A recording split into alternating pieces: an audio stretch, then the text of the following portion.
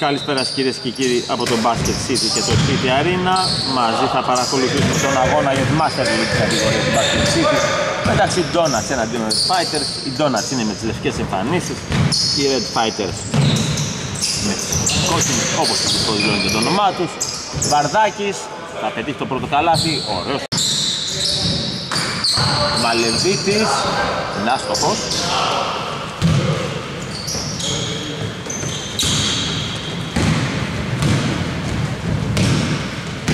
Λέση, drive, κάνει πολύ όμορφα το lay-up.